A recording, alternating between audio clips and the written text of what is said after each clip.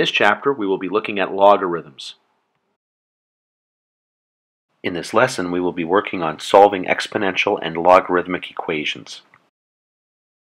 Okay, so in this lesson, what we're going to do is we're going to take some of the stuff that you've you've looked at previous, and we're going to take it the next natural step here. Now that you've seen logarithms and you've worked with the, the laws a little bit here, it, it's going to enable us to do something uh, more with these equations that we've looked at. So in the past, we took a look at equations that look like this. Okay, where we've got an exponential equation here. The x is in the exponent there. And now to solve this, what we would have done is, is made the bases the same. So we would know that 4 is going to be 2 squared to the x, and this will be 2 to the x plus 3. So 2 to the 2x is equal to 2 to the x plus 3. And then once I've got power equal to power and the bases are the same, they're both 2's here, I know that the exponents must be the same. So bring that over and I get that x is equal to 3. Okay, and that's, that's great here. But you're not always going to be able to work with equations where the bases are comparable like that. Sometimes they're just not. And so what we do in that case, okay, is we're going to end up taking the log of both sides, okay? Well, whether that be the natural log or the common log of both sides here, what we're going to do is we're going to we're going to take the log of both sides of an equation and that will enable us to pull down the exponent. You've got to think about that power law. When you've got an exponent inside a logarithm, you can write that exponent out front. And that's what's going to allow us to, to solve equations like this that aren't uh, that don't have that nice comparison between the, the bases here. So we're going to take a look at some examples and I'll show you how this works. Solve the following for x to the nearest hundredth. 4 to the x is equal to 12. So, okay, so here we go. 4 to the power of x is equal to 12. Now, there isn't a nice comparison between 4 and 12. 12 is not a power of 4, and neither, uh, well, 4 is a power of 2, but 12 isn't. So 12 is really the oddball here. So what we're going to do here is we're going to end up taking the log of both sides of the equation. Okay, and as long as you do it to both sides, whether you do a common log or a, a, natural log, it doesn't matter. As long as you take the logarithm of both sides of the equation, the equality stays. Okay, so as long as 4 to the x is equal to 12, the log of 4 to the x is going to equal the log of 12. Now, that allows me to bring that x down because that's that's the rule. Okay, so the rule says I can take that exponent and write it out front here. So this becomes x times the log of 4 is equal to the log of 12. And now, remember, log of 4 is just going to be a number. Okay? It's just going to be a number, that's it. So I can solve for x by simply dividing both sides by the log of 4. And then I can go to my calculator. Okay, and so that was the log of 12 divided by the log of 4. Just enter that in exactly the way I see it. And I'm going to get uh, 1.79 approximately. And this question wanted us to go to the nearest hundredth, and so there we go. Okay, x is equal to approximately 1.79. 5 to the x plus 1 is equal to 17. This question is similar to the one that we just did, except the exponent is just a little bit more complicated, and I have to be careful about that, but it's not going to cause me too much issue here. Again, there's no nice comparison between the, the bases of the powers on, on both sides here, so I will start by simply taking the log of both sides of that equation here. Whoops, sorry, I don't need that right there. Okay, and again, because both sides of the equation were equal, when I take the log, they're going to be equal. Now, when I bring down the exponent, I got to remember that the exponent is that entire binomial there. So that entire binomial will be multiplied by the log of 5, and that will equal the log of 17. Now, my goal is to get x by itself on this side of the equation. Log of 5, again, is just a number. So I can divide both sides here by the log of 5. It'll cancel on the left-hand side, and I've just got log of 17 over the log of 5, and I can bring the 1 over. So you get the log of 17 divided by the log of 5, and I'll subtract 1. Now, I go to my calculator. Whoops. So I'm going to go to my calculator with that. So, the log of 17 And make sure you close brackets there. You got to make sure you, you do that. If you don't, then everything that you enter is going to be inside that logarithm, and you don't actually want that. So now we're going to divide that by the log of 5. Okay, and again, we're going to close the parentheses there so that it's just the 5 that I'm taking the log of, and then we'll subtract 1 from the end. And to the nearest hundredth, we get 0.76. This is approximately equal to 0.76. Oops, can't see that right there. 5 is equal to 3 to the 2x minus 1. Okay, and this question is really similar to the one that we just did. Okay, two powers there. The bases are not related, so I'm just going to take the common log of both sides. And the reason I take the common log is because it's on my calculator. I could take the natural log as well, yeah, but the common log is just as good. And again, it's on my calculator. I wouldn't want to take the log of anything else here.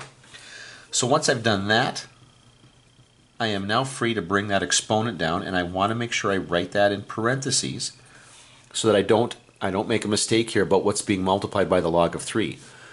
2x minus 1 is the entire exponent on 3, so 2x minus 1 needs to be multiplied by 3, all parts of it, not just the negative 1.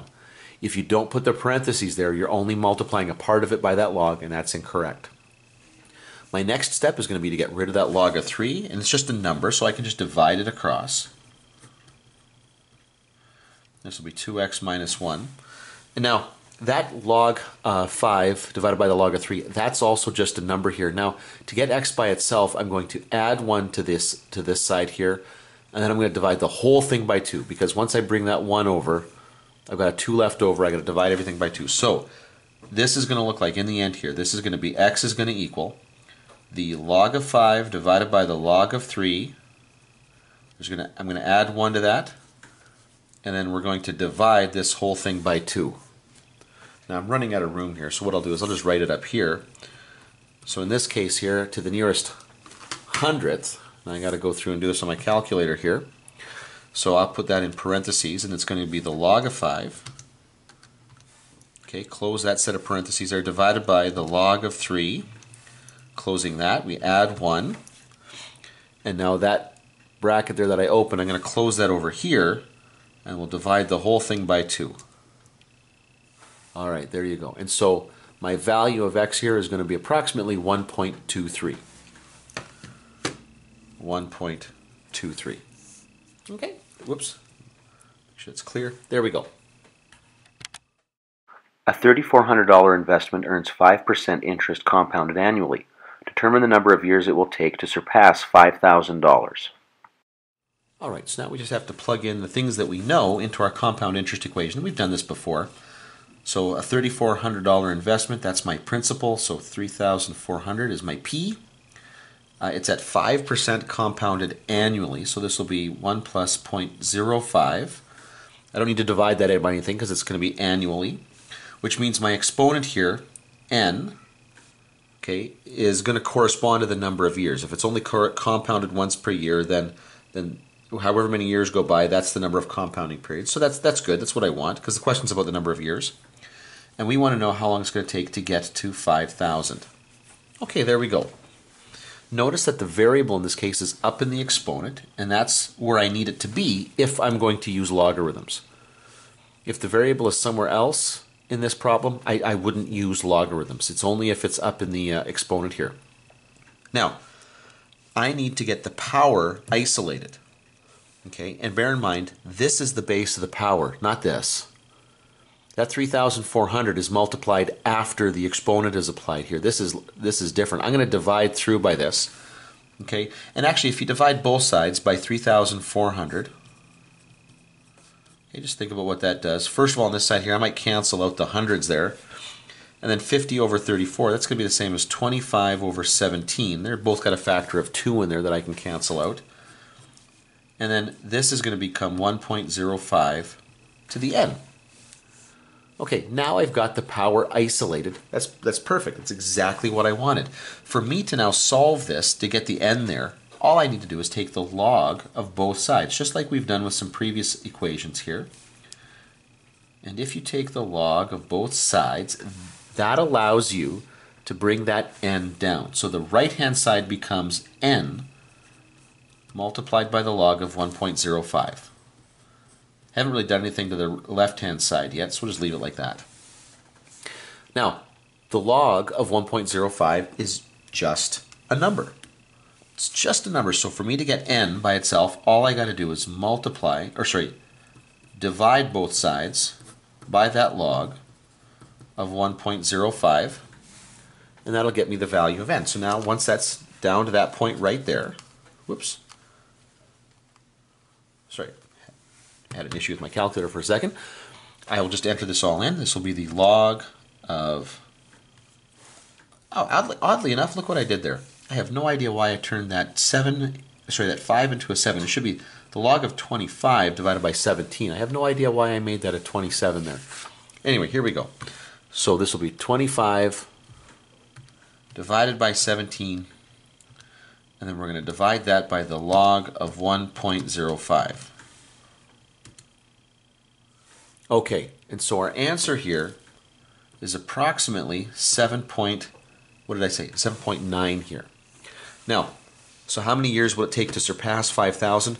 Well, it takes more than seven. It's going to happen in the eighth year. In fact, it's it's very very close to the completion of that right there. So really, what we can say here is it's going to take about eight years. Probably makes sense to round that up. Kim invested $7,000 at 7.6% interest compounded quarterly. After how many years will it take to be worth at least $10,000? All right, well, this question is really similar to the one that we just did. Uh, so we're going to start plugging stuff in here. We got a $7,000 investment here. It's at 7.6%, but it's compounded quarterly. So now what I'm going to do is I'm going to take that 7.6%, we're going to divide that by 4. Now, up in my exponent here, this is, needs to be the number of compounding periods. But what I want to do is solve for, if you look at the question, it's the number of years. So I'm going to let n be the number of years, and if it's compounded quarterly, I'm going to multiply that by 4. So that's where my number of compounding periods is going to be. 4 times the number of years. And we're interested in where this thing pops up to $10,000, how long that's going to take. Okay, so now I want to find my exponent. Uh, there's the variables up in the exponent, so I'm going to have to use logarithms. Uh, but the first thing I want to do is isolate that power. I want to get rid of this coefficient. So I'm going to divide both sides by that 7,000. And when I do that, I'm going to get 10 over 7. I, you can cancel the 1,000 there. And on the other side here, now I'm going to go to my calculator, point 0.076 divided by 4. Okay, sorry, point, I should show you that. 0.076 divided by 4 is going to be 0.019. So the base here is 1 plus, oh, sorry, I don't know why I'm doing that. Just, just put it together. 1.019 all to the 4n. That's what I'm looking for here. That's what I want to work with. I've got a power. There's really, I, there's no noticeable connection between those two bases, so I'm just going to take the log of both sides. And this will be the log of 1.019 to the 4n. Now, laws of logarithms tell me that I can bring that 4n out front. And so this will become the log of uh, 10 over 7. I haven't done anything yet with the left-hand side, so that can just stay there. And that'll be 4n times the log of 1.019. The log of 1.019 is just a number. Okay, it's just a, a value here, just like the 4 here. So to get n by itself, I'm going to divide both sides of this equation by 4 and the log of 1.019. So then the left-hand side becomes the log of 10 over 7 divided by 4 times the log of 1.019. This is n, and this will be approximately equal to, let's go to the calculator here, log of 10 divided by 7 divided by, now, my denominator's got two factors in it. It's got this 4 and this log of 1.019. So because there's two factors there, I need to put parentheses around the denominator. So 4 log of 1.019. And I'll close, I close uh, the brackets for the log and then I close it for the denominator here. Press enter and we get 4, 4.7, so roughly 4.7. Now, again, what that tells me is how many years does it take to get to at least $10,000? This is going to happen, okay, this occurs in year five. Okay, 4.7, we're, we're almost done the fifth year. We're really close, but that happens in the fifth year. Okay, so basically, by the time five years has passed, you're definitely over that $10,000 mark. Determine the half-life of radon 224 to the nearest tenth of a day if 500 grams decayed to 13.417 grams in 19 days. Okay, and just like the previous question here, um, what we're doing is we're just going to plug stuff into this equation. The unknown is going to end up being in the in the exponent, and so we'll just use we'll just use uh, logarithms to help me get there. So first of all, we know okay we're talking about half life here. That's why the base of this this power here is a half. Okay, and we're starting with 500 grams, and we're waiting for it. Sorry, we know that it's going to be multiplied by one half uh, what we don't know is how much time has passed, but we do know that the half life is 19 days. And we know that we're going to end with 13.417 grams. It's kind of an, an awkward number, but so be it. Now, I need to find t. t is in the exponent, okay? There's no real connection here uh, between the bases. I'm going to use logarithms. But before I can do that, I got to isolate the power. That 500 is not part of the power, it's a coefficient that's multiplied out front. So I'm going to divide both sides here by 500. And so that'll give me 13.417 divided by 500. I, don't see how to simplify that really nice. I'm just going to leave it like that. And it's going to leave me with 1 half to the t over 19. Okay, now there's no connection between those, at least nothing that I can see. So I'm just going to take the log of both sides. And don't don't worry about how this looks. I mean, I know it's kind of ugly. We're taking the logs of these fractions here, but that's okay. Calculator's going to do the work anyway. Doesn't really bother me that this is a little ugly. I'm not going to do it. But I got to know how how this all works here. I'll let the calculator deal with the nitty gritty here, but I got to know the relationship here again, I take the logarithm so that I can bring that exponent down. Now, this time the exponent's a little bit more complicated. It's a fraction, but that's okay. So this is going to end up looking like this.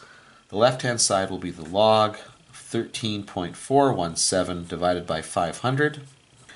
The right-hand side will end up being t over 19. There's my exponent.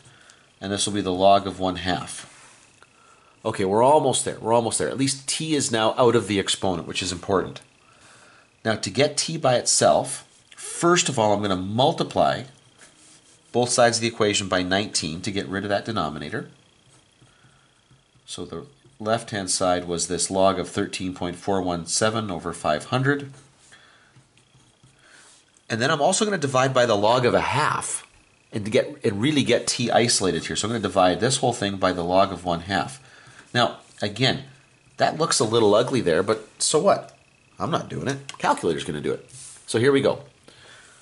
So 19 times the log of 13.417 divided by 500. Close the parentheses to end that logarithm.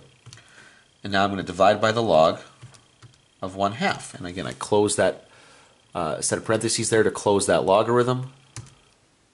And here we go. Now, the beautiful thing is the question says to the nearest tenth of a day, so they really want us to, to round this specifically. My answer here is going to be approximately 99.2 days. That, whoops, where, there you go. That's the exact answer that, well, not exact, okay, that's, that's rounded, but that's the answer that they're looking for.